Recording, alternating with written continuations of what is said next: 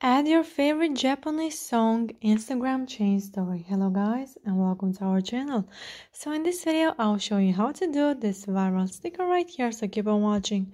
First of all we have to click on the search icon from the bottom of the screen and then search for my account which is Aly and Johny TT. And then from my page you have to click add trending from highlights and here click until you find the desired sticker. So here as you can see i only have viral stickers so you can check these too so there we have it. Add your favorite japanese song. Click on the add yours button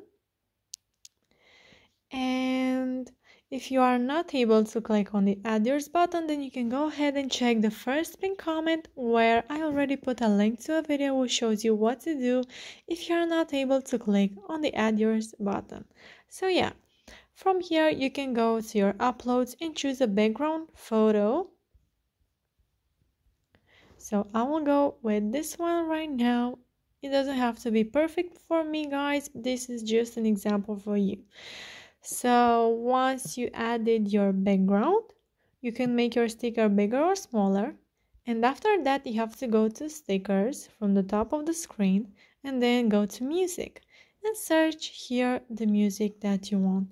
So uh, right now I will go with a random song from here but you have to add your favorite Japanese song.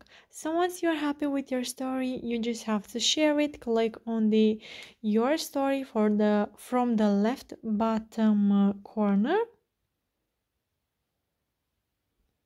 And now your story is shared. So yeah guys that's it. I hope this video was helpful for you. If it was you can like this video and you can also subscribe to our channel. And if you have some questions you can go ahead and ask them in the comment section down below. Thank you so much for watching guys. Have a great day. Bye bye